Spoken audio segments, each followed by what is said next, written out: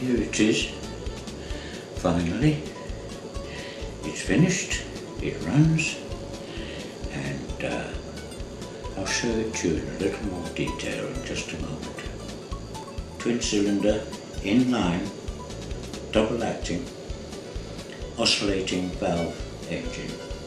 It's uh, the same basic uh, porting as my uh, V-twin engine, and uh, but it has a bigger flywheel. The cylinders are inline, and as you can see, the plumbing is, my golly, how it's much much simpler uh, because all the fancy stuff is done by drilling inside this central upright.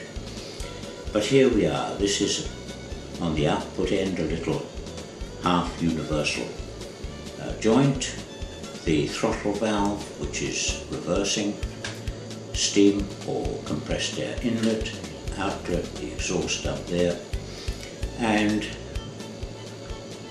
little spring pressure points using a eighth ball bearing to hold the cylinders against the central upright and they have adjustment. In fact I found that the adjust, adjustment has to be fairly carefully done but generally now it's very very free. It's, uh, it's turned out to be a nice little engine and uh, I had to cut it, well I didn't have to, I planned it that way. I cut away the base so that I could big, put a bigger flywheel in.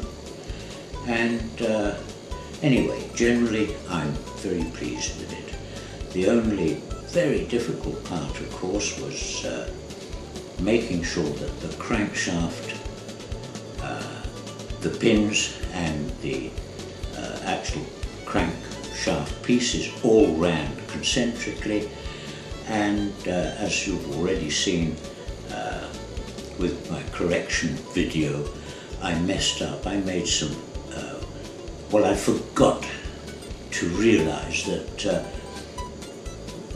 the shaft, when you look this direction, if it's going clockwise from that direction, it's going anti-clockwise.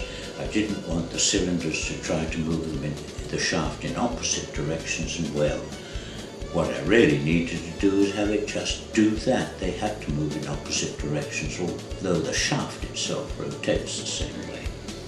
But anyway, I corrected that mistake. There it is. It's, I'm very pleased with it, and uh, we'll show you it running before too long. Here it is running at last. I'm making a slight adjustment to the throttle reversing valve, bringing it to the middle, slows down, stops, right over to the other side, full speed ahead.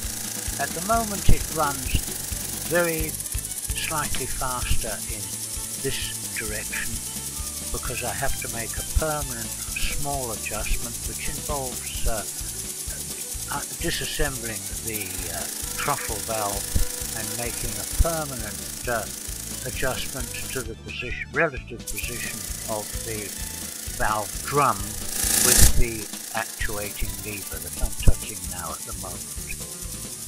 And uh, but that has to be done later.